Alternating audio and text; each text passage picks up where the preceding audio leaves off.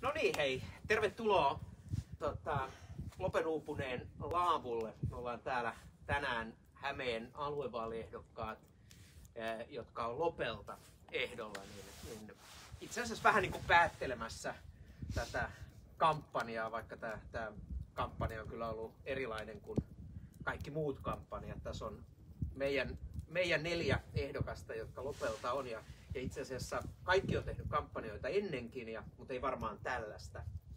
Tota, aloitetaan sille, että, että kertokaa vähän tota, itsestänne ja minkälainen, minkälainen kampanjan teko on ollut. Ja me laitetaan täällä vähän niin kuin myös tota, herkkuja tulille ja, ja tota, vietetään tämmöinen pieni, pieni hetki kampanjan päättäjäisiin. Mutta aloita sä Tiia. Joo, tervehdys vaan. Eli Hervalan, Hervalan Tiia olen ja ihan tota, alkuperäinen loppilainen. Kävin kääntymässä semmoisen kymmenen vuotta tuossa Hyvinkäällä, mutta sitten paluu muuttajana tänne takaisin. Ja, ja tota, mitä kampanjointiin tulee, niin aika hyvinkin ehkä erilaista. Toki oli jo kuntavaalien aikaankin, että jotenkin on aina ajatellut, että se kampanjointi olisi erilaista, mutta, mutta ei, ei näinä aikoina tietenkään. Ja, ja tota, ehkä se enemmän on ollut ja oikeastaan täysin semmoista somessa kirjoittelua tai, tai niin kuin yleensä niin kuin osallistunut asioihin tai keskusteluihin ja, ja tota, kyllähän me kolme sitten hienot mainoksetkin saatiin ja niitä, niitä sitten luukutettiin laatikoihin, mutta, mutta tota, hyvin, hyvin erilaista. Ja nyt tietenkin sitten tässä, kun ennakkoäänestykset alkoi, niin mä itse, itse sairastuin ja olin puolitoista viikkoa hyvinkin kipeänä, että se, se tietenkin tuli nyt vähän huonoon aikaan ja on ollut ehkä aika hiljaakin tässä, mutta, mutta pikkuhiljaa ja ehkä sitten vaan katse huomiseen siihen viralliseen vaalipäivään. Ja tota, ei, ei varmaan muuta. Mä olen sairaanhoitaja ja, ja tota, niin vastaava sairaanhoitaja hoivakoti Salmelassa tällä hetkellä. Moi, mä oon Lehtimäen Tuire ja tota, kohta tulee, äh, hetkinen, 14 vuotta täyteen Lopella. Ja mä oon fysioterapeutti ja yrittäjä.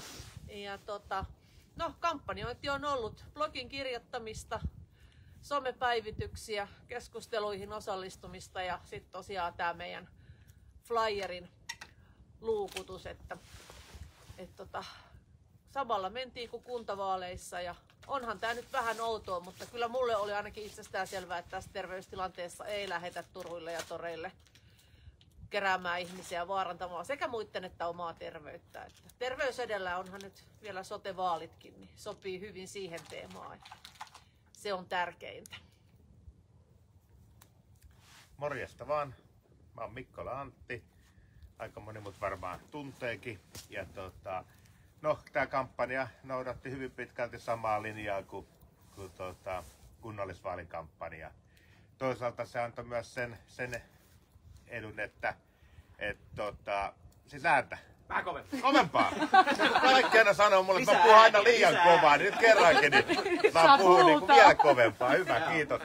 Niin, niin antoi anto sen edun tosiaan, että et, tota, ei ollut välttämättä pakko olla paikkakunnalla, kun kampanjoi, että et, kun tämä kuitenkin osui nyt osui vähän tuohon loma-aikaan, joululoma-aikaan ja sitten yrittäjällä, yrittäjällä kun on lomaa, niin sitä pitää koittaa pitää silloin, kun sitä vähänkin voi pitää. Että.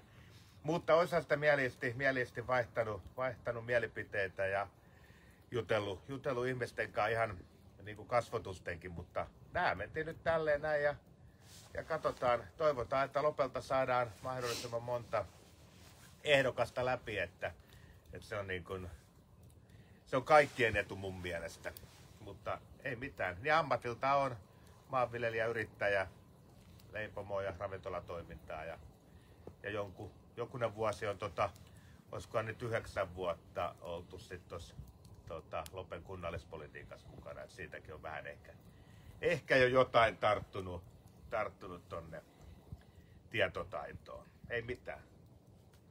Joo, jos mä tota, loppuun myös jotain sanon, mulla on itse asiassa ollutkin sloganina, että mehän jo tunnemmekin. Ja tota, niin ne vuodet menee nopeasti. Antti on ollut 10 vuotta kohta mukana ja, ja tota, ää, mä oon ollut itse asiassa yli puolet omasta elämästäni, eli yli 25 vuotta vuotta tota, valtuutettuna, eli, eli aika, aikamoinen siivu tullut, tullut tota, tehtyä, tehtyä näitä juttuja, mutta tietysti valtakunnan politiikassakin tulee keväällä 15 vuotta täyteen ja, ja tota, meillä rupeaa vesi kiehuun kohta, niin saadaan tota, laitettu, laitetaan poro, porot, porot sinne, ettei me porot, On porot nokkaan. Nostetaan pöllin toi päällä. tohon, niin laitaks Antti siihen? Timo noi, joo, Tossa on. Siinä on lusikka, noin. jos Se voi olla muuten aika lämmin toi. toi. Joo. Pari nyrkillistä. Vai kaikki? Vaan vaan kaikki. Pysytään herreillä. Joo, niin, niin tota... Kiehautetaan pari kertaa, niin, niin tota, saadaan, saadaan kahvi. Niin, niin tota, joo, piti, piti muutama sana sanoa siitä kampanjan tekemisestä. Että onhan tämä ollut, ollut vähän erilaista itsellekin. Tämmöistä kampanjaa, kampanjaa tota, se oli ensimmäinen kiehautus ja, ja sitten vielä toisen kerran. Tämmöistä kampanjaa en ole tehnyt koskaan, että, et, et vaikka se on vähän samanlainen oli kuin kesä, mutta kyllä silloin vähän päästiin kuitenkin tekemään, että, mm.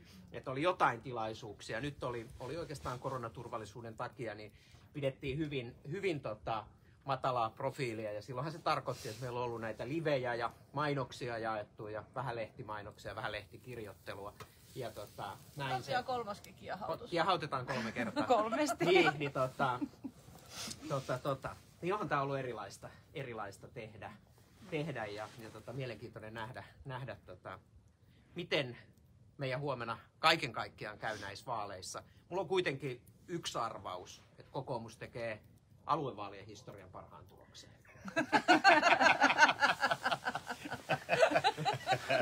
Koskaan ennen ei ole näin hyvin mennyt aluevaaleissa. Ja toinen, toinen mikä on ollut, tehdään se kolmas kiehautus niin tota, ei sitä paljon tarvi, se, se on sen verran kuumalla nyt, että noin, annetaan se vähän aikaa laskea. Niin, niin tota, tota, tota, niin oli, oli mukava sitten todeta eilen, kun Ben Zyskowicz soitti, niin mä sanoin, että, että yhdessä asiassa Ben mä oon kokeneempi kuin sä politiikassa, ja, ja se on se, että Ben ei ole koskaan ollut aluevaaleissa ehdokkaana. aluevaaliehdokkaana, ja itse asiassa Ikeenkin vähän samaa sanoin, että, että Ike, että eikö se ole kiva, että me ollaan jotain asiaa sentään tekemässä ekaa kertaa yhdessäkin. Ikehän on myös aluevaaliehdokkaana. Ehdokkaana. Mutta hei, aloitetaan tota, vähän semmoista, että mitkä on sellaiset teemat, mitkä nyt erityisesti, jos Antti aloitat, aloitat niin mitkä näissä aluevaalijutuissa, niin kun niitä palautteita kuitenkin on tullut ja viestejä, niin mitkä on ollut sellaisia, mitkä on noussut esille ja mitkä on sulle erityisen tärkeitä, jos puhutaan niin kuin aluevaaleista ja, ja sote- ja, ja palo- ja pelastustoimista? Tota, tota, no mihin muhun on oltu yhteydessä, niin on ennen kaikkea peruspalvelut, että ne pysyis lähellä. Sen moni ymmärtää, että erikoissairaanhoito ja näin, niin nehän nyt ei ole nyttekään lähellä. Ja sitä mä oon kaikille sanonutkin, että eihän nyt lopella, jos nyt katsotaan loppeen vaikka, tai oikeastaan mitä muut tahansa näitä pieniä, pienempiä kyliä, niin, niin tota, eihän meillä nuo palvelut oikeasti kovin paljon voi huonontua, eikä ne kovin paljon voi mennä enää kauemmaskaan. Et, mutta, mutta se, että et saata, saataisiin ne peruspalvelut pidettyä täällä ja myöskin se, mitä on puhuttu Timokin kanssa, niin ö, pela, pelastustoimi, niin sen toiminta pitää saada turvattua, koska se on kuitenkin niin, että, että se on yleensä se ensimmäinen, mikä on paikalla, kun soitetaan sinne 112. Et tota, ne on sellaisia, mitkä niin kuin, niin kuin ihmisiä huolettaa, mitä mä oon huomannut. Et, tota, ja ne on munkin mielestä niin tärkeimpiä, tärkeimpiä asioita tietysti. Ja myös se, sit se että, että vanhukset saa siellä viettää loppuelämänsä, mikä on heille parhain ja mieluisin paikka, ettei ne lähdetä väkisin raahaamaan, raahaamaan mihinkään. Sulla on ollut Antti yksi sellainen juttu iso myös, että, että meillä sopimuspalokunnille tulee ajanmukaisia tiloja. Kyllä. Oot Lopen teknisen lautakunnan puheenjohtaja. Nyt me ei tietysti puhuta vaan Lopen asioista, mutta ihan hyvänä esimerkkinä. Eli Läykkään ollaan, ollaan nyt te- tekemässä uutta paloasemaa. Joo, joo. Tuota, seuraavassa Lopen valtuustossa niin, niin pitäisi pitäis tehdä se viimeinen päätös siitä, että sieltä on puut jo kaadettu ja, ja e, tota, pelastustoimi on, on, on lupautunut tota, vuokraamaan ne tilat määrätyksi ajaksi ja, ja näin ollen, niin sehän olisi kutakuinkin kustannusneutraali loppilaisille. tietysti maksetaan muitakin paloasemia tällä hetkellä, että se menee sillä koostii koko Hämeessä, että, Kyllä. että yhdessä, yhdessä hoidetaan. Että, että, ja se on hienoa, että, että VPK-laisilla olisi asianmukaiset paikat ja olot, ja, koska ne ainakin osassa, osassa paikkoja on vieläkin vähän niin kuin ollaan siellä 60-luvulla. Mm. Ja välineet ja var, varusteet. Niin, ne on kyllä, niin kyllä. Et Ei, ei, ei, se ole mistään ko- kotosi, että, että käydään sammuttaa kun tulipalo ja sen jälkeen mennään paloasemalle, vaihdetaan omat siviilivaatteet päälle ja mennään kotiin nokisena ja niin sanotusti paskasena suihkuun. Kyllä. Niin ei se, ja sitä, ne, ne kuitenkin tekee sitä niin kuin kaiken muun työn ohella. Kyllä. Jos me muutama sana palo- ja pelastustoimesta, niin, niin tota, mun mielestä se on, se on hyvä, hyvä aihe ja hienoa, että me saadaan tämä yhden Lopentaajaman uusi paloasema, eli Läyliäisten paloasema tehtyä, mutta siinä on ehkä semmoinen meitä kokoomuslaisia hyvin, hyvin yhdistävä toteamus ollut se, että palo- ja pelastustoimea ei voi hoitaa diginä eikä etänä, vaan sen pitää olla siellä, missä sattuu, eli, eli tota, tulla lähelle. Ja, ja tota, meillähän on palo- ja pelastustoimessa aika isoja taloudellisiakin haasteita tulevaisuudessa. Et jos me ei niitä ratkaista, niin, niin tota, silloin se tarkoittaa sitä, että palo- ja pelastustoimet menee entistä kauemmaksi kerran, tai, tai se saavutettavuus ja, ja etäisyys tulee, tulee pidemmäksi. Minkälaisia ajatuksia? Mä heitin tuonne muuten Peltoseppälän nakkia. Maksettu. Ei ollut maksettu mainos, mutta oli maksettu nakit. Niin, niin, tota, niin, niin laitoin, laitoin jo vähän lämpimään ja, ja tota, grillaantuu. Niin minkälaisia ajatuksia palo- ja pelastustoimit ja sussa herättää? Sulla puoliso on esimerkiksi mm. VPK-lainen ja sopimuspalo. Joo. Joo, on ja siis todella tärkeä, tärkeä asia. Että, äh, nyt mä en ole ihan varma, että mä valehtele hirveästi, mutta oliko, muistatko Antti, eikö viime vuonna niin eikö niinku hälytyksiä esimerkiksi Kantahämeen alueella, niin oliko Loppi jopa ihan kärjessä? Saisi olla. Niin. Joo. Et ainakin sanotaan, että jos ei ihan kärjessä, Joo. niin hyvin kärjessä, että en ole ihan varma siitä, mutta täällä niinku oikeasti on niitä hälytyksiä. Ja, ja kun ajatellaan, että vielä niinku Lopen alue ja sitten se Läyliäisen alue. Kyllä. Niinku, si- siinä mielessä niinku samaa, mutta erikseen. Ja niinku, kun nämä on, tämä on niinku tosi, todella tärkeä asia, kun jotenkin ajattelee, että se voi todella olla se palokunnan auto ensimmäisenä kohteessa täällä reunoilla, vaikka, vaikka se olisi ehkä se ambulanssitarve ollut siinä, mihin niin kuin tilataan sitä apua.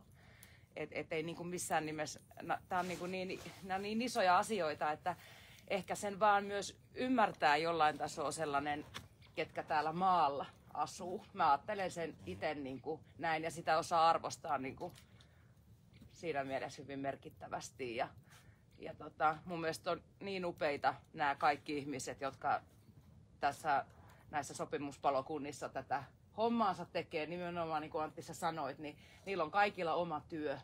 Tämä on niin kuin, siinä mielessä ihan harrastusta. Et, et, tota, niin, ja jotenkin se semmoinen palo, palo näkyy siihen hommaan, niin kuin mä näen kotona siihen, että, että Tuo on, tuo on hyvin sanottu. Palo, palo näkyy työhön. No mitäs Tuire, mitä sulla ajatuksia herättää palo- ja pelastustoimi? No sen verran, että kun on kokemusta siitä, että on omaan kotinsa joutunut ambulanssin soittamaan ja, ja tota, se tuli Lopelta ja se kesto oli semmoinen 20-25 minuuttia, niin ei sitä nyt oikeasti ihan hirveän paljon kauemmas voi enää viedä. Ja, ja tota, sama noissa, niin kuin meillä sitä läheltä palo yksi talokin, niin, niin, niin tota, kyllä sinne äkkiä tarvitaan sitä apua. Et ei, ei sitä voida lähteä viemään kauemmas. Et se on tosi tärkeää.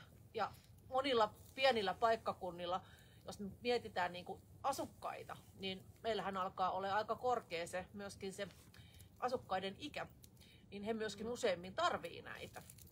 Että tota, kyllä mä, siis se on tosi tärkeää, että se tulee läheltä. Ei, ei voi kestää kauan. Joo, ja eihän me näissä koskaan tulla olemaan mitenkään tasa sinänsä tasa-arvoisessa asemassa. Ja se varmaan on ihan hyvä, tai pakkokin hyväksyä, että mä soitin ambulanssin kolmen sepän patsaalle tuossa ennen joulua, kun, kun tota, kaveri, joka oli nauttinut muutakin kuin kansalaisluottamusta, niin horjahti ja kaatui ja löi päänsä. Ja hän oli kovin sitten otettu, kun joku hänestä välitti. Mm. Ja tota, niin ambulanssi oli kolmes minuutissa paikalla. Joo. Niin kyllä se oli aika hieno, hieno mm. tilanne, kun se, se tuli siihen ja, ja sai apua.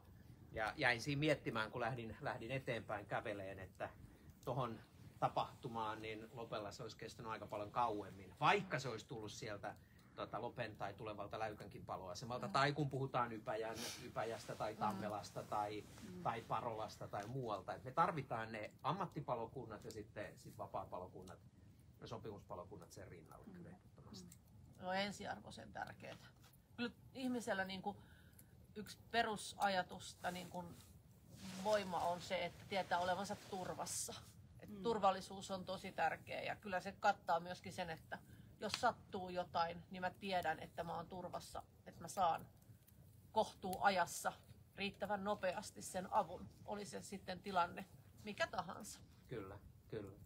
Ja sitten tietysti helikopteri. Tantti tekee, sä teet töitä ja vapaa-aikaakin vietät Levillä ja Lapissa, Lapissa töidenkin parissa, niin sieltä tietysti hyvin tietää, mikä on esimerkiksi pelastushelikopterienkin rooli. Ja on se muuten ihan Etelä-Suomessa. On, on, on. On, on. Joo, ja, ja mun mielestä se onkin ihan älytöntä, että niiden pitää kerätä yksityistä rahoitusta, että, että ne pyörii. Niin tota.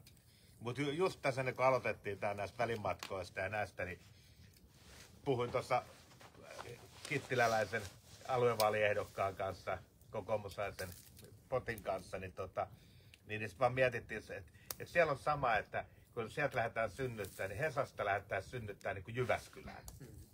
Ja se on ihan ok. Nyt ne vähän pelkää, että tuossa mennään vähän kauemmas. niin, Näin se, tota, näin niin se. on niin, niin suhteellista nämä välimatkat. Että. Niin on, niin on. Joo, joo. Aika moni syntyy siellä kai justiin matkalla. Jo matkalla, innolla. joo. Että, että, että tuleekohan niistä liikkuvia äänestäjiä, en tiedä.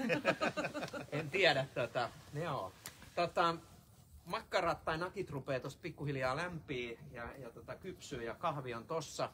Tota, Tiina saa vähän leputtaa kättä ja vaikka nostaa jalkojakin leputtaa, niin, niin tota, jos me otetaan, otetaan kahvia ja, ja tota, sitten siellä on Antti sun tekemää vai onko, onko Annen tekemää? Mikä?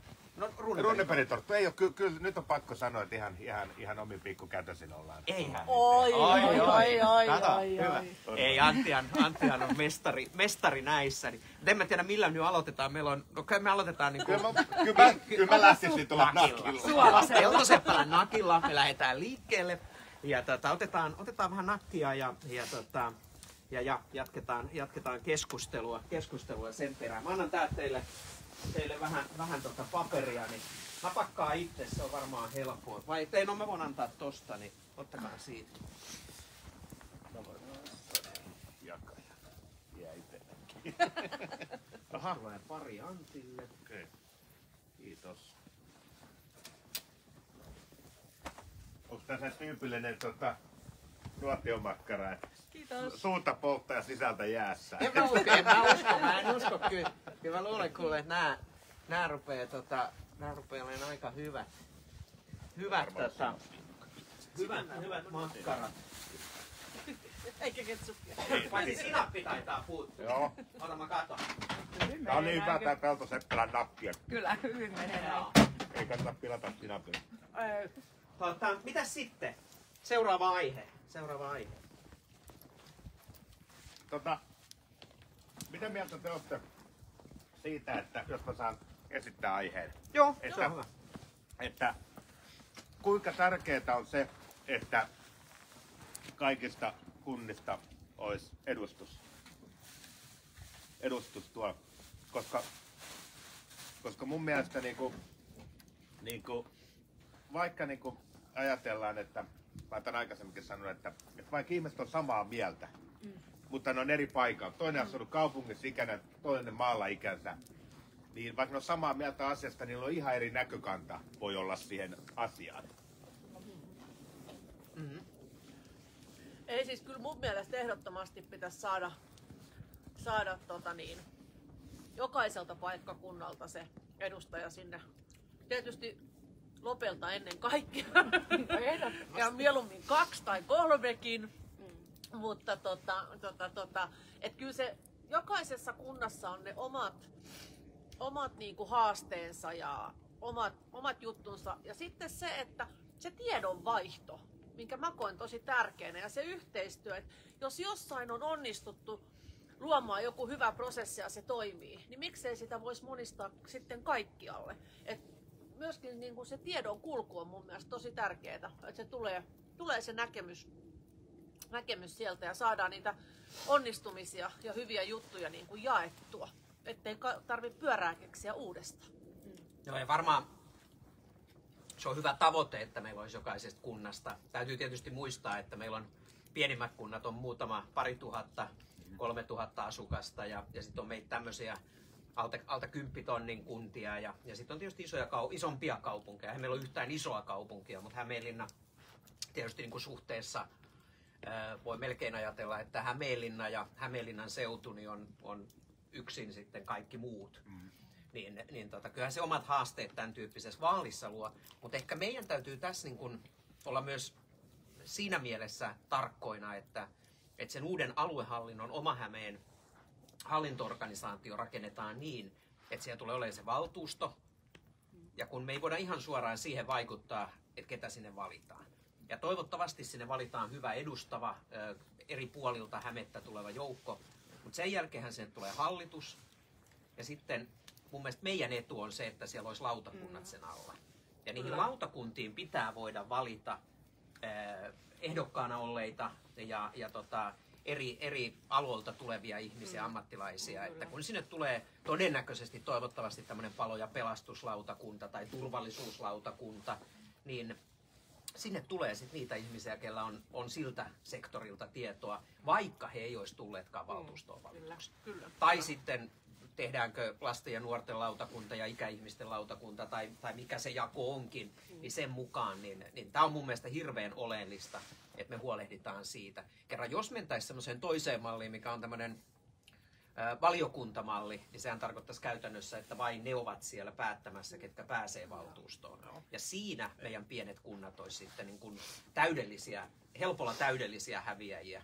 Vaikka eihän tämä ihan tietysti näinkään mene, että kyllä ääniä, ääniä toivottavasti kerätään hyvin yli kuntarajojenkin, että, että, tota, niin, niin tota, näin mä itse ajattelen. Mitä Tiia Mä oon, mä oon sunkaan ihan samaa mieltä. Mä itse asiassa kirjoitinkin tästä eilen, eilen tuolla jossain somekanavalla, mutta tota, nimenomaan niin kuin sit lautakuntia ja, ja se, että sitten ei vaan ne valtuutetutkaan sit ole oikeasti vaan se ryhmä, joka sitten tekee ja päättää kaiken. Mulla on siis hirveän ihan henkilökohtaisesti niin kun ajattelee, että, että tietenkin mä oon hoito, hoitaja ja, ja niin kuin mietin sitä, sitä puolta varmaan eniten ja, ja tota, resurssikysymyksiä ja, ja tällaisia. Mä pelkään paljon, mitä tulee oikeasti tapahtuu 20-30 vuoden päästä.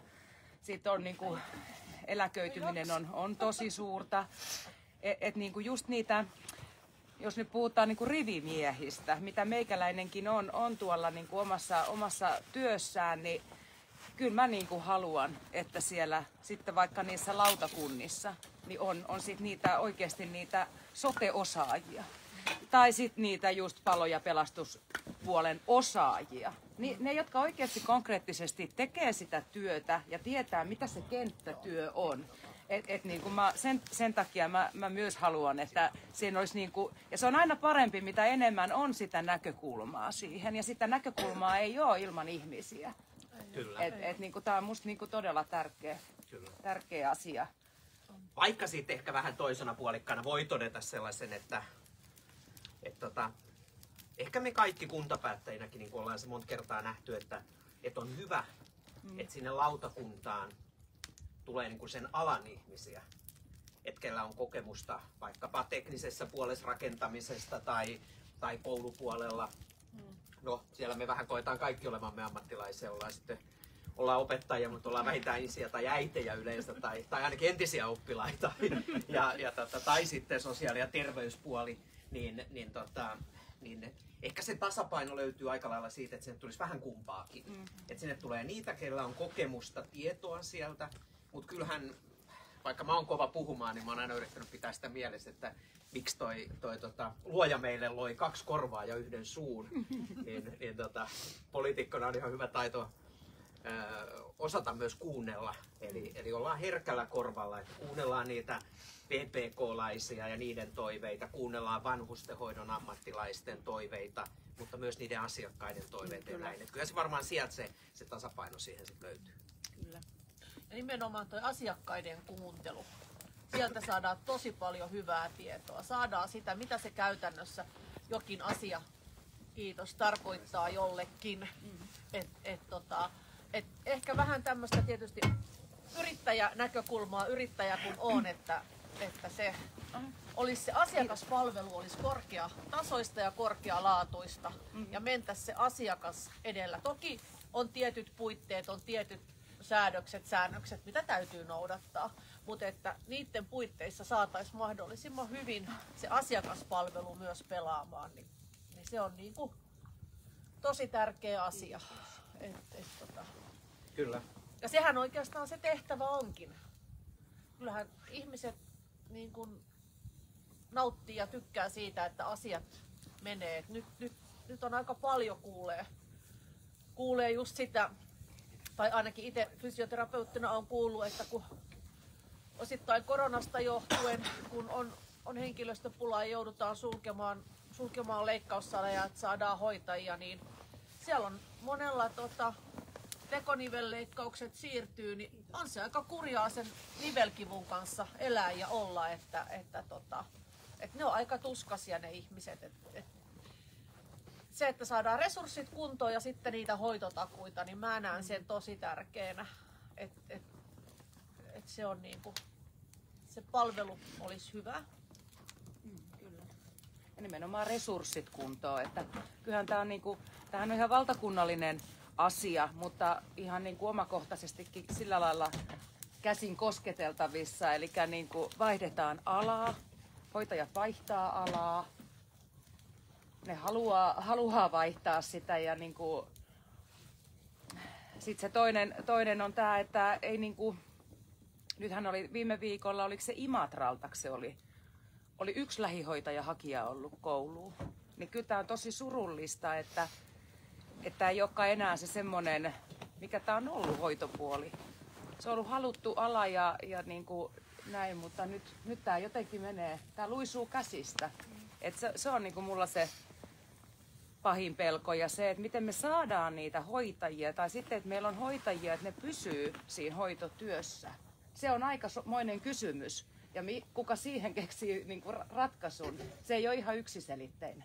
No miksi ne lähtee sieltä pois? No olisiko tämä korona-aika nyt ehkä, Niin, se on- se on- se se on on, varmaan on ehkä nyt niin Se kuin on yksi sellainen piikki varmaan, mikä, ja varmaan monella on ollut niin kuin, on oltu niin kuin vähän siinä rajalla, niin kuin siinä oman jaksamisen ja tämän rajalla.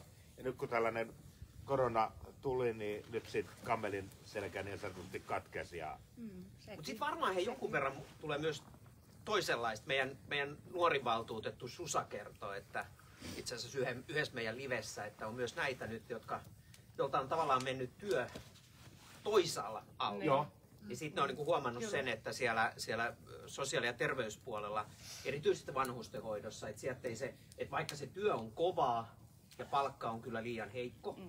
niin, niin siellä, siellä sitä työtä riittää. Kyllä. Eli näitä tämmöisiä, ketkä on vaikkapa parturikampaajina ollut tai, tai tota, kosmetologeina tai sen tyyppisiä, missä on niinku tullut täydellinen, niinku, että on tosi paljon niinku se työ leikkaantunut. Niin niitä on, niitä on myös jonkun verran tullut. Mutta jos otetaan tie, tota, ihan se niin kuin normaali tilanne, jätetään pois korona, mm. niin millä sä uskot, että et, et, millä perusteella ne vanhustenhoidon ammattilaiset valitsee ne työpaikat? Sä äsken sanoit, että, että jos sen keksii, niin hyvä on. Niin, Mutta kyllä sulla, sulla, kun sä vastaat kuitenkin yhdestä yksiköstä, niin mitä sä oot tehnyt sen eteen, että äh, kun sinne tulee Jaakko ja, ja se miettii, että menenkö mä tonne, tonne vai menenkö mä sinne Tian johtamaan Salmelaan, Mm. niin millä sä varmistat sen, että se valitsee sen sun paikan? No, toi, aika hyvä kysymys. Oikeastaan me- meillähän ei hirveästi sellaista vaihtuvuutta, vaihtuvuutta tuolla ole, mutta siis lähinnä se, että miten valitaan se palvelu, niin äh, kyllähän se huokuu siitä koko yhteisöstä. Eli se koko työyhteisö pitää voida hyvin. Siellä pitää olla mukavaa. Ja, ja näin Onko ollen, sun niin? On. Kyllä. Kyllä on, voin sanoa. No Mulla on ihan parhaimmat työntekijät sano, siellä. Niin, no okei. Sulla on parhaat työntekijät, mutta jos me nyt mennään, mennään tästä tota, seuraavaksi sinne sun työyksikköön ja kysytään, että minkälainen johtaja Niin, teillä on, se- mitä ne sanoo? No mä uskon, että ihan varmaan tulee positiivista kyllä. Näin mäkin uskon. voin Ja uskoa. tämä on mun mielestä se oleellinen. Se on nimenomaan niin. on. Eli- ja se lähtee siitä, juu, lähijohtajuus. Kyllä, kyllä. Sehän lähijohtajahan on se tärkein siinä. Kyllä. siinä. Ja, ja, se, se niin kuin, ja just se niin kuin yleisesti, ei se ole vaan se lähijohtaja, vaan just myös ne työntekijät. Eli ja se niin kuin työntekijänkin vastuu siinä kaikessa. Nyt ne puhuu musta Kyllä. siellä pahaa. Ei nyt, Ei, kun puhuttiin kahvista. Mä ennustan poroista tätä vaalitulosta tässä. Oliko Hyvältä, ennustus? hyvältä näyttää, Joo. hyvältä näyttää. Paras tulos ikinä kokoomuksessa. Joo. Kyllä. Mutta tämä on mun mielestä hei, hirmu hyvä, hyvä ja tärkeä. Kyllähän tämä koskee vähän kaikkea duunia. Niin. Että, Kyllä, että joo, jos, totta jos kai. Tota, Tuire hakee tota, Hyviteraan tekijöitä, niin totta kai ne katsoo, että mikä siellä on työilmapiiri. Mm. Tai jos Antti hakee leipomoa maatilamyymälään, mikä on itse asiassa Suomen vanhin, käykää katsomassa. Ja siellä on myös nelinkertainen motocrossin maailmanmestari Heikki Mikkola. Ja tämän vuoden Lopen uupunutkin, yleensä aina paikalla, vähintäänkin näytillä. niin, niin, tota, niin, niin käykää, käykää katsomassa Lopen maakylässä. Niin onhan sillä iso merkitys, että minkälainen sä olet niin kuin johtajana. Ja, ja tota, kyllähän se hyvin paljon siitä lähtee. Kyllä. Kyllä. Et puhutaan sit tässäkin kokonaisuudessa ihan varmaan mistä tahansa. Että on se se paloasema, Mm. On se se vanhusten hoivayksikkö tai, tai tota, sosiaalihuollon huollon, tota, työyhteisö tai joku muu. Ja onneksi ne työyhteisöt itse asiassa vähän tulee tietyllä tavalla kasvamaankin. Että tulee niitä semmoisia eh, vertaistukea antavia niin kuin, kumppaneita, vaikkapa mm. puheterapeuteille tai jokin muu. Joo, kyllä työhyvinvointi on ihan ykkösasia. Ja, ja se lähtee siitä, siitä just, että tulee kuulluksi, saa sanoa mielipiteen. Töissä on mukava, siinä on mukava mennä. Ei aamulla ahdista, kun tietää, että pitäisi lähteä. Kyllä. Et, et, tota, kyllähän nämä on näitä moninaisia, moninaisia asioita, ihan siis ala kuin ala. Kyllä. Joo. Joo. Onko siellä tullut meille yhtään kysymystä, On, kommenttia? me juuri. No niin, hyvä. Antille ehkä eniten tämä kysymys, mutta oliko pohjoisessa hoitajan keskuudessa samanlaista vaihtuvuutta esimerkiksi vanhusten puolella? Nousiko tämä aihe siellä esille? Onko siellä samainen kriisi? Vai olisiko meillä täällä etelässä jotain opittavaa sieltä pohjoisesta? Aika hyvä kysymys. Hyvä kysymys. Me ei Jukankaan ihan hirveästi tota aihetta, aihetta sivuttu, mutta sen verran tietysti jo sivuttiin, että siellä on vähän vaihtuvuutta. Mutta kun siellä on niin pitkät matkat sinne seuraavaan työpaikkaan, niin niille on vähän isompi kynnys siellä niin kuin vaihtaa sitä työpaikkaa. Ja jos ne vaihtaa, niin ne vaihtaa monesti siellä maakunnan sisällä sitten. Kun se on kuitenkin mm. niin kuin laaja alue, että, että jos vaikka Kittilässä rupeaa naamat ottaa päähän, niin sitten voi mennä vaikka Muonioon siitä, taikka mihin sitten meneekään, niin, mm. tota, niin tota, ja, just, ja niin kuin nyt varsinkin varmaan sitten, kun ajatellaan että tuosta Kemistä ylöspäin, se alue, se hyvinvointialue, mm. niin se on niin kuin aika laaja, että et, en mä, sitä voisi kysyä niiltä sairaanhoitajilta ja hoivahenkilökunnan porukalta, että Mutta jos, jos tuota, oli kysyjällä, niin vähän pilke silmäkulmassa voi, voi sanoa tuohon Antin vastauksesta kuunnelleena, niin voi todeta sen, että, että kun oli, että voisiko sieltä jotain oppia, niin ei ainakaan opita sitä, että tehdään yksiköiden väli niin isoksi, että kukaan, kukaan pystyy, Ei, kukaan joo, pystyy ei. vaihtaa, että, että huolehditaan me Joo, siitä, kyllä. että, että meillä on niitä yksiköitä, on helppo vaihtaa. yksiköitä Vähän helppo, helppo vaihtaa. Että, että toivottavasti me löydetään se joku muu juttu sieltä, sieltä pohjoisesta kuin se, että, että, tota, että se ö, yksi hoivakoti on, on Hämeenlinnassa tai Riihmäellä ja ei Joo, ole muuta. joo, ei, ei, ei. huolehditaan, huolehditaan siitä. On muuten tosi hyvää, tosi hyvää kahvia. Niin on. Ei ole Antti ensimmäistä kertaa poroja laittamassa. Toi, tota, niin, mun veljen tyttö oli itse asiassa Kittilässä viime talven ja kevään, kevään hoitajana vanhus,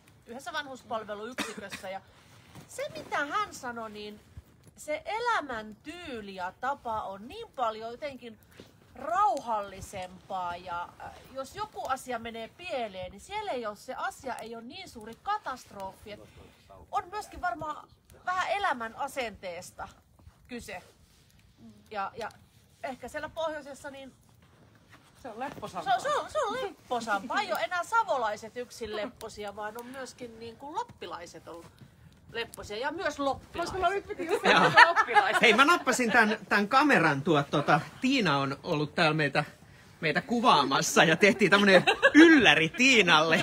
niin tota, Tiina, mitä sä haluaisit kysyä? Sä oot ollut kuntapolitiikassa tosi pitkään, pitkään ja, ja tota, kattonut tätä sosiaali- ja terveyshuoltoa ja, ja palo- ja pelastustoimea.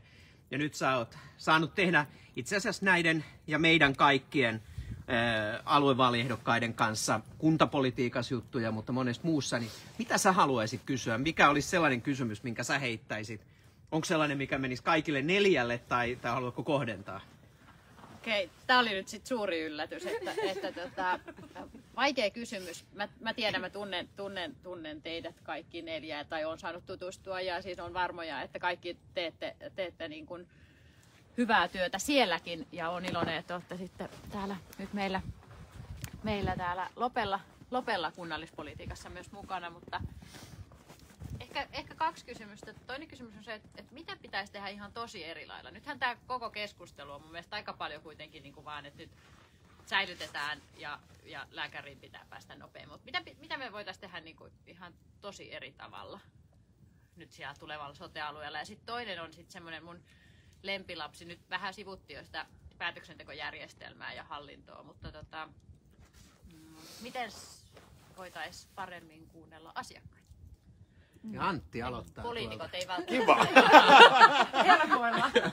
Sai vähän nyt tota enemmän, enemmän. Siis, mitä pitäisi tehdä eri tavalla? No, eikö tämä koko soten ajatus ole, että jotain tehdään eri tavalla? Kukaan ei ole vaan vielä kertonut, että mitä tehdään eri tavalla. Mä oon ollut alun perin vähän, vähän koko sote-uudistusta vastaan, vastaan että, että koska mä en, mä en tiedä, että mitä hyötyjä tämä tuo. Tietysti kun ajatellaan kaikkea isommassa mittakaavassa, niin silloinhan siinä pitäisi olla joku hyöty. Ja, ja ehkä tässä on se juttu, että tätä pitäisi ajatella niin kuin jotenkin sit ulkopuolelta boksin. Ja miet, mie, miettiä, että, että, että on iso juttu, mutta et miten se kuitenkin saadaan pidettyä niin kuin asiakaslähtöisenä ja toimivana. Ettei se ole sellainen, että se on iso juttu yhdessä paikassa, mm. vaan että se olisi iso juttu koko alueella. Mm. Silloinhan se toimii. Mutta sitten jos se on iso juttu yhdessä tai kahdessa paikassa, niin se ei ole iso juttu enää siinä isolla alueella. Mm. Ja se tulee ihan varmaan olemaan tässä haaste. Et, tota, mikä toinen kysymys oli? Toinen kysymys oli, että, että tota, Ai hallintomalli. niin, että eikö, miten, miten asiakasta voitaisiin kuunnella paremmin, kun nyt me vaan luotetaan siihen, että päätöksentekijät tekee niin kuin kaiken aina, aina tietää ja oikein, niin, niin miten sitä asiakasta voisi kuunnella paremmin? No ti- tietysti helppo sanoa, kuunnellaan asiakasta.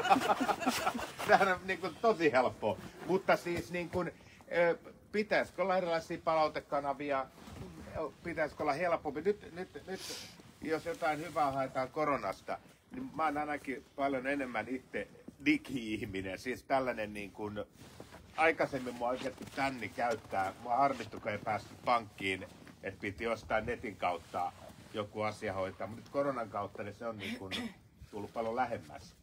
Niin ehkä se olisi yksi vaihtoehto, mitä voisi käyttää. Tietysti mä tiedän esimerkiksi oman isäni, niin se ei välttämättä pistä palautetta tietokoneen välityksellä mistään mihinkään. Näitä ihmisiä on vielä paljon. Mm. Että tuota, se pitäisi katsoa, että kaikilla olisi sitten oikeat kanavat siihen palautteeseen. Ja, ja sit, se on mun mielestä tärkeää, ettei pompoteltaisi luukulta luukulle. Se on niinku sellainen, että soitat johonkin, ei kuulu muilla, ky- kysy sieltä ja sit sä vähän aikaa kyselet ja sit sä oot silleen, olkoon. Joo, ehkä se sellainen matalan kynnyksen niin.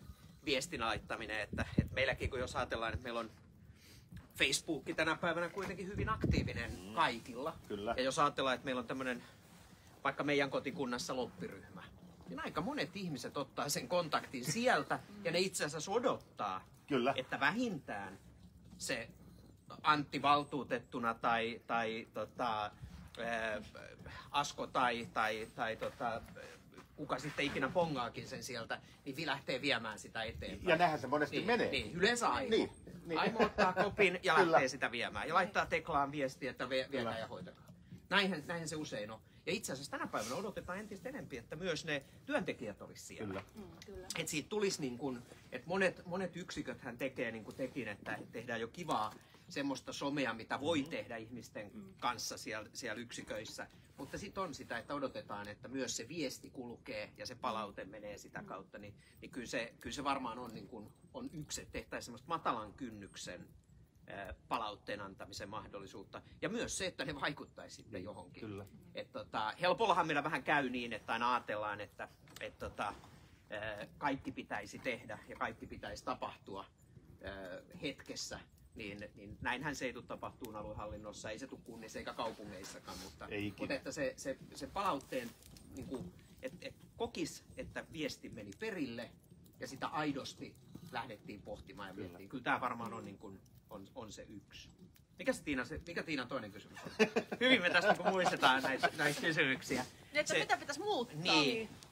Ai niin joo, että et, et, et, joo, näinhän se on, että et vähänhän tämä keskustelu on ollut sellaista, että et, et kaikkien pitää pysyä samana. Ja mun mielestä ei, että kyllähän meidän pitää niin kun, ei tätä uudistusta kannata tehdä, jos ei tavoite ole, että palveluista tulee parempia. Niin. Ja, ja tota, silloinhan se tarkoittaa sitä, että niitä palveluita täytyy tuoda, tuoda tavalla tai toisella nopeammin ihmisten saavutettaviksi. Ja sehän ei aina tarkoita sitä, että, että se, kun me ollaan nyt puhuttu pohjoisesta ja puhutaan Hämeestä ja puhutaan muista, niin eihän se missään tule niin onnistuun, että, että kaikilla olisi tismalleen samanlainen niin kuin edes etäisyys. Mutta si, silloin tarvitaan näitä digi- ja etäpalveluita ja, ja, tota, ja nekin vielä sellaisina, ettei ne ole mikään äh, on sanonut, että ne ei ole mikään tämmöinen niin kuin säälijuttu meille maaseudulla asuville, että te saatte ne digi- ja etäpalvelut, kun te ette ole saamassa muuta. Vaan niidenhän pitää olla itse asiassa sellaiset, että ne on helsinkiläisillä, Joo, hämeenlinnalaisilla, espoolaisilla, rovaniemeläisillä, mutta myös loppilaisilla, hattulalaisilla ja muilla. Kyllä. Eli ne kaikki, ketkä niitä haluaa ja pystyy käyttämään, niin voi. Et kun mekin mennään sinne, niin varmaan valtaosa meistä käyttäisi isossa osassa niitä digipalveluita. Ja silloin sieltä jäisi aikaa sille, joka haluaa tai tarvitsee mennä sinne niin kuin fyysisen lääkärin vastaanotolle, niin, niin kyllä tämä varmaan on se yksi. Että. Niin Ja ja- sitten yksi on varmaan tuo palo- ja pelastustoimen toimen niin kuin toimivuuden varmistaminen, että, että se toimii niin kuin sujuvasti ja järkevästi, että, että, että siinäkin kannattaa niitä parhaita käytänteitä ottaa Kyllä. mukaan. Ja piti sanoa vielä noista digipalveluista sen verran, että niissä on, niissä on varmaan ihan älyttömästi kehitettävää. Mm. Että niitä saataisiin vielä niin kuin selko, he- helpommiksi ja se- selkokäyttöisemmiksi. Mm. Koska ne on monesti silleen, sä kirjaudu sinne, kirjaudu tonne ja se on sellainen viidakko niin kuin ihmisellä, mikä vaikka käyttää tietokonetta, silti se on viidakko. Saati sitten sellaiselle, ketä ei sitä enää työkseen käytä vaikka tai tälleen näin. Että, Mutta tässähän on nyt jo suuri, suuri ero meillä niin kuin julkisella ja yksityisellä sektorilla näissä digi- ja kaikissa etäpalveluissa. Et, et eihän julkisella puolella ole sitä mahdollisuutta niinkään, mitä esimerkiksi Mehiläinen tarjoaa, Pihlajalinna tarjoaa. Mutta pitäisi olla. Niin, Miksi pitäisi. ei? No se on just se, Ja, ja mitä nyt se, pitää ja, muuttua. niin, juuri näin. Juuri ja näin. nyt se, että, että pyörää ei kannata keksiä Ei, uudestaan, kun se on ei, keksitty. ei. Vaan, vaan tämähän Niin. on nyt se päijät juttu No, ollut. kyllä. Että millä ne purki esimerkiksi lääkärien jonot. Niin ne otti, tekivät yhteisyrityksen, missä on kaikki kunnat ja kaupunki ja sitten yksityinen toimija. Ja ne sai sen yksityisen toimijan ö, tota, alustat ja softat käyttöön, järjestelmät käyttöön, mutta myös sen koko heidän ison lääkäri niin kuin poolin sieltä. Ja, ja tota, eli, eli ei kannata kaikkea keksiä uudestaan, Ei vaan otetaan niitä parhaita käytänteitä. Ei. Mitä Tuire sä mietit? No tosta just nappaan heti, minkä te lopetitte, niin yhteistyö.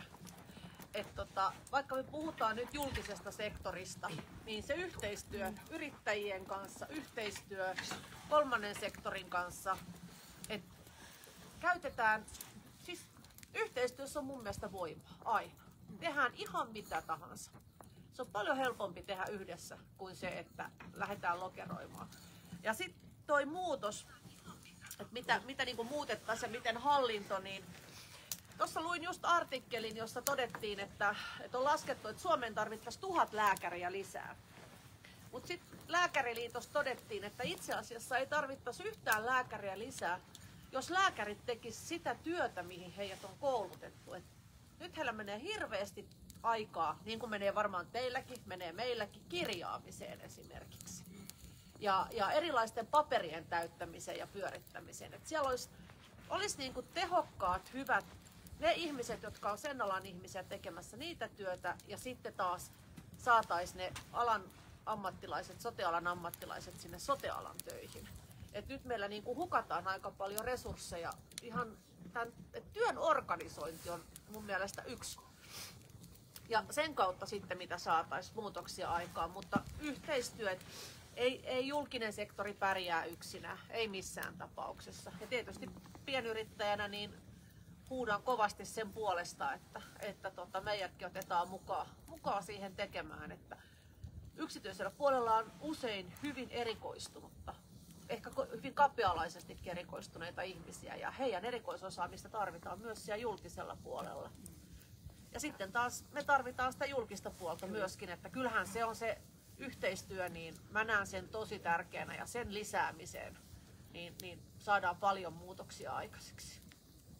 Joo, kyllähän tämä tämmöinen byrokratia ja paperin pyörittäminen ja ylös, tai ehkä paperin pyörittäminen, mutta ylöskirjaaminen, niin onhan se meillä, se on vähän kaiken julkisen puolen iso. Sehän on tullut, mä oon opettaja aiemmalta, niin kun mun, mun jo koulusta pois lähdön jälkeen, siis opettajan uran jälkeen, niin, niin on muuttunut tosi paljon. Sehän on tullut toisaalta sen takia, että halutaan oikeusturva taata sille lapselle ja nuorelle, mutta toisaalta myös sille opettajalle, että kaikki tehdään sinne. Mutta kyllä sitä aikaa menee Niin. ihan hirveästi. Et niin kuin me katsottiin, että joku rehtori teki jotain ää, tota, ihan kirjaamisia, niin hänen työajastaan meni tosi paljon, mikä pitäisi saada sinne kehittämiseen ja kaikkeen muualle. Ja tämä kaikki varmaan koskee kyllä ihan koko sektoria sitten. Puhutaan teknisestä toimesta, puhutaan palo- ja pelastustoimesta, vanhustenhoidosta, terveydenhoidosta ja, ja näistä, että, että saataisiin se toimia. Mutta hei, ottakaa nyt sitä Antin torttua. niin tota, rohkeasti vaan, rohkeasti vaan. Tota, kaadetaanko kahvia lisää? No jos siellä on, niin mä ainakin otan lämmikettä. Onko se ku- kuunnellaan? No se varmaan, mutta kato leipurin kädet saattaa kestää. Niin ja piti siitä, siitä Heikki Mikkola, piti siitä Heikki Mikkolasta vielä sanoa, että kun sanoin, että se on siellä näytillä, niin, tota, niin si- siis sehän on nyt niin kuin todennut, että nyt toi Antti, kun Antti on jo vähän yli 40, niin, niin se, se tota, nyt se pärjää jo siinä, että Hänet ei enää vahdi mua. niin, ei, eikä tarvitse tehdä kaikkea. Niin, niin, juuri näin. Ei vaan leikki leikkinä. Mutta tota, tää, tää on, tota, tää on tämmöistä, että kyllä, noi, kyllä me ollaan poikia noille isillemme Aivan, ikuisesti. ollaan. ikuisesti Joo, ja, joo. ja, tota, ja, ja, se on tietysti ihan hyvä, hyvä asema meillä. Ja, ja tota, tietysti tytöt on äideilleen tyttöjä ja isilleen, isilleen prinsessoja varmaan loppuun asti. Että näin Pikkusormen ympärillä. niin, ja näin näin tää menee. Mut hei, tota, te saitte kahvia, ottakaa torttua ja meillä on vielä hetki aikaa. Tota, laittakaa joku kysymys vielä, jos siellä katselijoilla. Aika hyvin on tullut muuten katselijoita. Tosi hyvin, hyvin tota, meidän linjoille. Ja me ollaan tänään täällä tota, Loppijärven Kainalossa Lopen uupuneen laavulla. Laavulla, kun tota, makkaraa ei pystytty nyt lähteä toreille jakamaan, niin, niin me päätettiin, että me tullaan päättelemään kampanjaa etänä tänne. Ja, ja tota, tehdään sitten taas teidän kanssa semmoisia kasvotusten tapahtumia myöhemmin, kun, kun se on mahdollista. Mutta tota, jos sieltä tulee joku teema tai kysymys, niin heittäkää, heittäkää niitä. Vai tuliko he? Ei oo tullut Ei ole tullut. Saanko mä Okei. heittää No sä saat heittää jo, mutta ota torttu ensin. Että on hiljaa, hiljaa vähän aikaa. Syöt sen ensin. Hei, nuorten ja lasten mielenterveysasiat. Ne on tosi kriittisiä tällä hetkellä ja tosiaan niin kymmenen vuoden aikana tarve on kolminkertaistunut, eikä se varmasti tämä korona-aika ole sitä helpottanut. Et mun mielestä se on yksi tosi iso asia, mikä, mikä tulee sote-alueelle nyt ratkaistavaksi. Mutta miten? Mistä me saadaan niin nopeasti niin paljon resursseja? Ja ennen kaikkea tässä tullaan mun mielestä myöskin jälleen kerran siihen yhteistyöhön, eli mennään sinne kouluun. Siellä, siellä psykologit, kuraattorit yhteistyössä matalan kynnyksen avulla sitten taas opettajien, rehtorien ja vanhempien kanssa.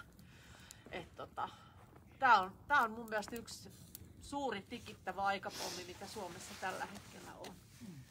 Joo, ja kyllähän aika monessa, monessa on se, että vaikka olisi tahtoa, että me ollaan kokoomuksessa sitouduttu, että terapiatakuu otetaan käyttöön, mutta, mutta sekin on tosiasia, että mistä löytyy ne tekijät siihen.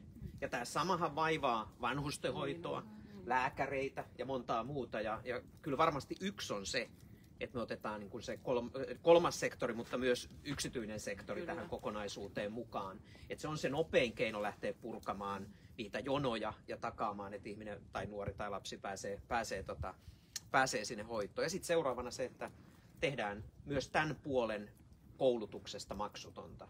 Et sehän on tällä hetkellä itse asiassa maksullinen koulutus meillä, os, niin kuin osa niistä, siellähän on erilaisia ammattilaisia, mutta tehdään niin, että sinne saadaan lisää.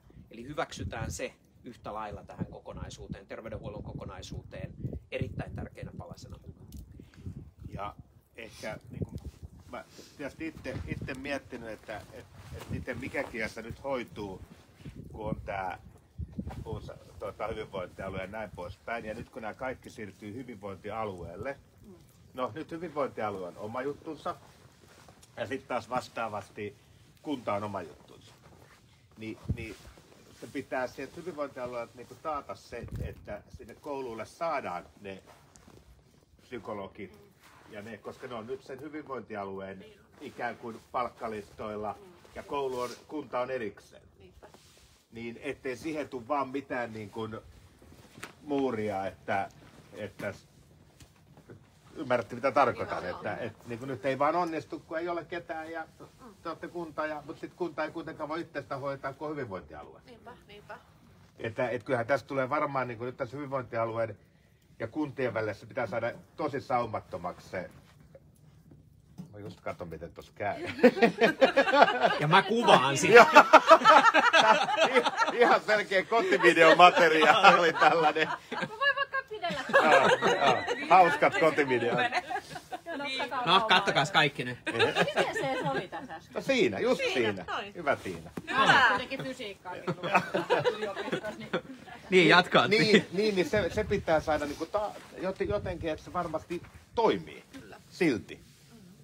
Koska nyt se on kuitenkin ollut paljon helpompi järjestää, kun se on ikään kuin kunnan kunnan saman- hoidossa. saman niin, palkan niin, maksaa. niin, niin, niin, just näin. Mutta nyt, nyt tulee niin kuin eri organisaatio, niin Timo varmaan tietää tästä jotain paremmin kuin minä. Vaihtaanko, mä voin Ei, kuva... no ei, no joo. Mä voin, mä voin kamera, mä voin kuvata sua välillä. vaan, nappa vaan. No niin. Joo, tota, ihan, ihan hyviä, hyviä, hyviä huomioita mun mielestä tota, kaikki tässä kokonaisuudessa. Ja, ja varmaan yksi sellainen, mikä, mikä vielä on tässä puheessa ehkä jäänyt, jäänyt niin kuin nostamatta esille, on myös se, että, että niiden palveluiden hakemisesta on tullut niin kuin jotenkin, onko oikea sana, hyväksyttävämpää tai, tai eh, se, sitä ei pidetä ehkä ihan niin leimaavana joo. että, että on ollut näitä hyviä kampanjoita, missä on sanottu, että, että minäkin kävin terapiassa tai, tai minäkin hain apua. Ja, ja mun mielestä ne on ollut niin kuin melkein parhaita, parhaita juttuja, että ollaan niin kuin se kynnys madallutettu sellaiseksi, että et, et se ei ole mikään häpeä lähteä hakemaan apua, vaan se on itse asiassa vähän niin kuin kunniatehtävä, että, että, että silloin kun mieli järkkyy, on se syy mikä tahansa. Se voi olla nuorella hyvinkin pieni juttu, mikä saa sen, tai joku vanha patouma, mikä tulee, tulee sieltä mieleen, niin, niin tämä on, tää on tota yksi, yksi kokonaisuus varmaan tässä. Se, että se on samanlainen sairaus kuin se, että nilkka murtuu tai, tai tulee keuhkokuume tai joku muu. Et se on vaan mielensairaus, mutta ihan samanlainen. Ei yhtään sen huonompi tai moitittavampi. Että. Mutta onhan tämä aatos niin kuin, ja muutenkin tämä ajatus niin muuttunut yhteiskunnassa. Eli niin kuin tämä, että ha- hakee ja hain apua ja näin, niin ne nuorethan itsekin haluaa ja hakee. Et se ei ole niin kuin enää, että sulkeudutaan ja hiljennytään. Että se on jopa, se on jopa vaarallista, jos täysin hiljennytään. Et niin kuin, et se on tullut semmoiseksi normaalimmaksi tähän, mikä on hieno asia ja uskalletaan sanoa, että hei, nyt, nyt väsyttää tai voin pahoin tai haetaan sitä apua ja kontaktia niin kuin aikuisesta. Joo.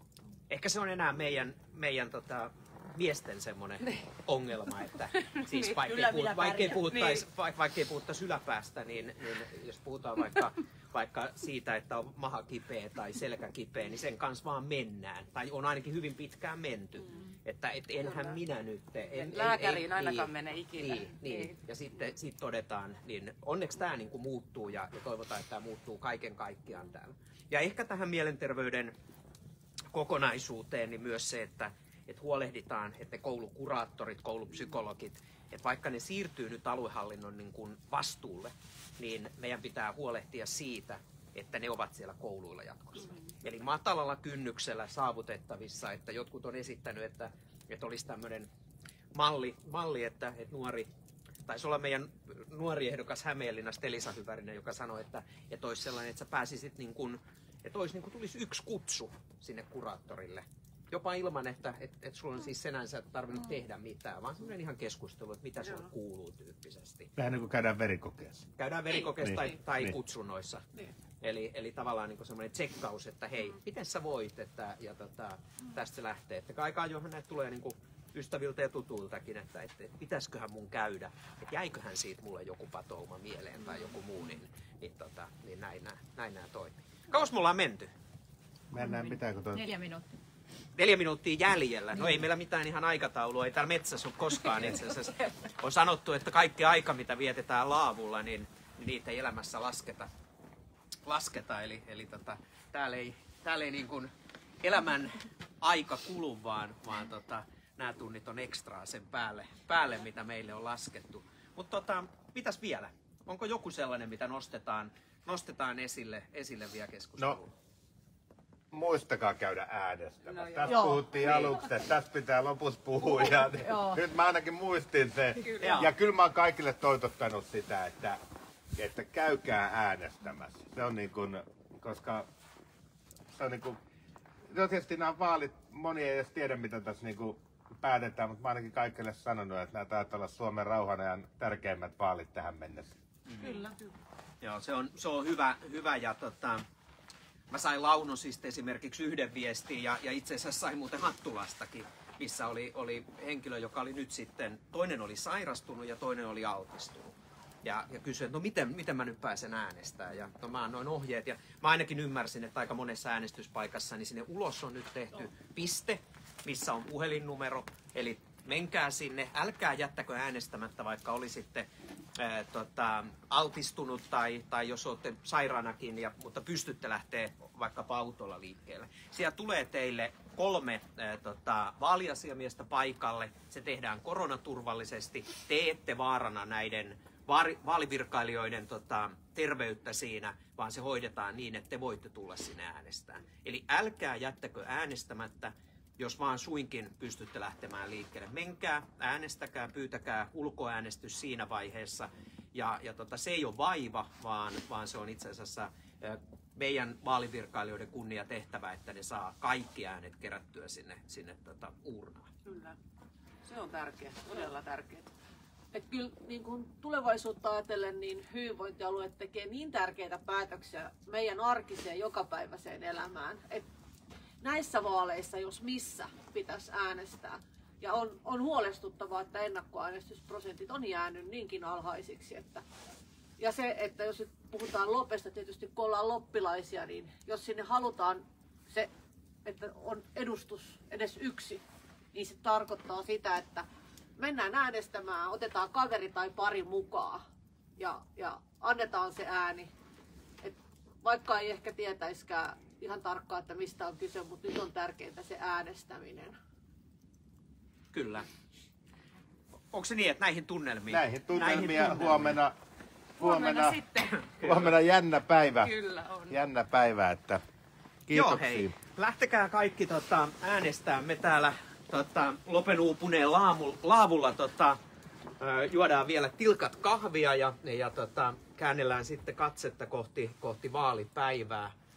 Tota, meillä on Kanta-Hämeessä erinomaisia ehdokkaita eri puolilta. Jokaisesta Hämeen kunnasta, kaupungista on ehdokkaita ja, ja tota, tämä meidän upea kvartetti on, on tota, Lopen kokoomuksen tota, riveistä mukana näissä vaaleissa.